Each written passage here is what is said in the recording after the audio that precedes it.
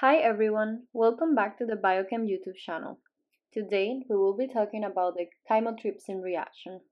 First of all, chymotrypsin is a protease catalyzing the hydrolysis of the peptide bond on the C-terminal side of aromatic amino acids. The first step of this reaction involves aspartate 102, histidine 57, and serine 195, which form the catalytic triad. The side chain of the aromatic residue settles in a hydrophobic pocket, which positions the peptide bond in the perfect position for being hydrolyzed. During step number 2, histidine 57 acts as a base and deprotonates the hydroxyl group of serine 195 to make it more nucleophilic. As this occurs, serine 195 attacks the carbonyl group, forming thus a covalent bond.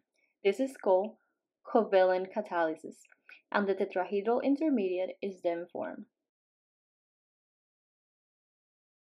During step number 3, now histidine 57, as it is protonated, it can act as a general acid and protonates the amino leaving group. And as this happens, the peptide bond is broken and the first product leaves.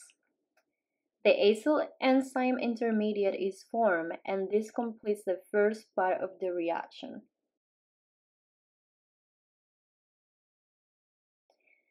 During step number 4, water comes in and is positioned.